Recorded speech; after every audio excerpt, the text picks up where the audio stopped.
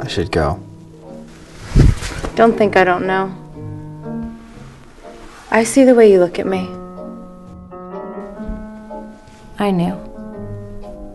You're crazy about me.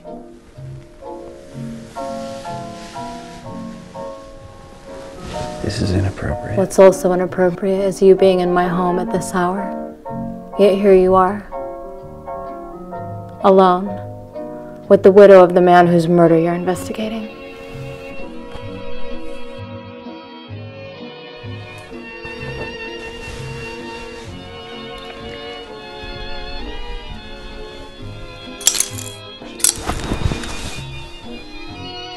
It was you. You killed Walter.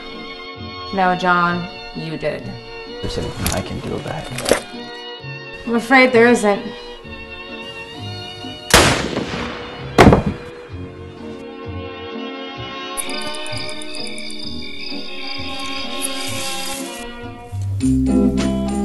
It's such a shame.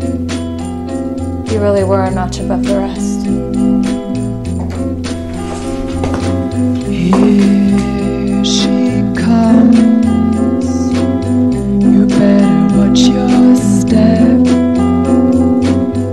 She's gone to break your heart in